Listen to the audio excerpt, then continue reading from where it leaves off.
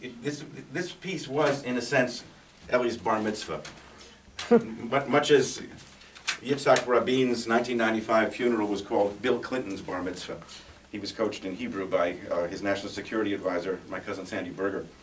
So the timing of the premiere, April 16, 1967, was very unfortunate, however. Twelve days after Dr. King's Riverside speech denouncing the Vietnam War, suddenly Dr. King became persona non grata in many circles. The American Legion threatened to picket the temple in Long Beach if, if Dr. King showed up. Senators Jacob Javits and Robert Kennedy quickly declined invitations. Jackie Robinson, Ossie Davis, Ruby Dee were there, as was I with my parents, but the major press stayed away. And as I wrote in my biobibliography of Elie Siegmeister, it appeared in 2010, the cantata really only came into its own on January 15, 1989, Dr. King's 60th birthday and Elie's 80th, when Bill Warfield repeated his performance, this time under my direction, with my Metropolitan Philharmonic Chorus at the Harlem School of the Arts. That's the performance that I just played part of you on video. You might have recognized Helene at the far right. I didn't know so. So, I have a photo of Elie and Bill Warfield with me backstage, which is in that, that book. Elie was intensely interested in the interaction of Jews and African Americans, and he wanted very much to make Bernard Malamud's short story, Angel Levine, which deals with the interaction between Jews and blacks, into an opera. But his colleague Marc Blitzstein got there first. In 1945,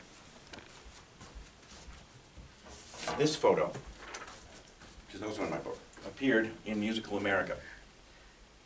Elie had it on his piano, reminding him of a time in U.S. history before the Cold War when Americans and Russians were allies, and our leading musical lights included those in the photo Aaron Copland, Elie, Leonard Bernstein, and Marc Blitzstein.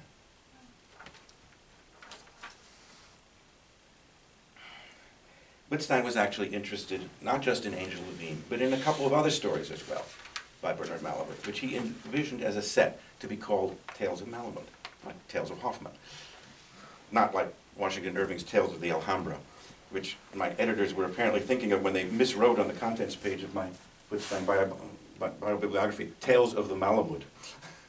Ma- Malamud is, of course, approximately the same word in, in Hebrew as Lehrman is in Yiddish, right? Malamud. So that's kind of funny. Uh, at, at that, all, all their lives, Blitzstein and Siegmeister had championed downtrodden ethnic groups, the Scottsboro Boys, Poles, Greeks, Irish, Italian anarchists. But in the early 1960s, they discovered their own Jewish identity for the first time as a source of inspiration. Malamud sold Angel Levine to the movies. The film with Harry Belafonte and Zero Mostel was not a great success, but it's still worth watching. And Blitzstein decided that two other tales could make a full evening, Idiots First and Magic Barrel. Unfortunately, he died in 19, January 1964 without completing either of them. But on the suggestion, isn't it? On the suggestion of Elie Siegmeister, with Leonard Bernstein's blessing, I completed and orchestrated Idiots First, along with 20 other Bernstein works. Now, here is the only video to date of the only extant song from The Magic Barrel. It's a song of the matchmaker's daughter, a prostitute, waiting at a lamppost for a date with a rabbinical student who's fallen in love with her.